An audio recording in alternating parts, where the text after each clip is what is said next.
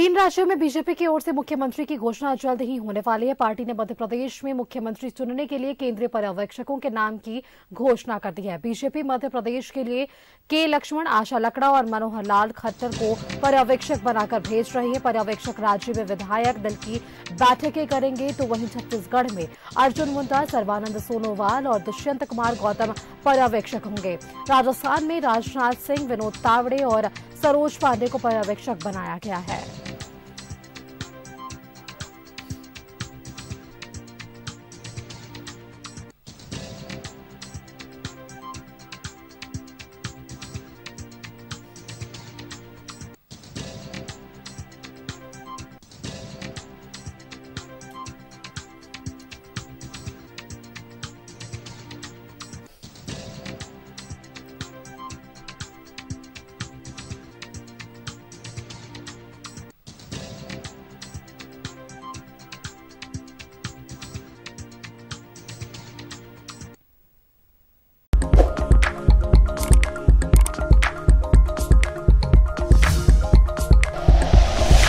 Like and share videos, subscribe करें हमारा channel और प्रेस करें बेल आइकॉन न्यूज़ 11 भारत. सच है तो दिखेगा।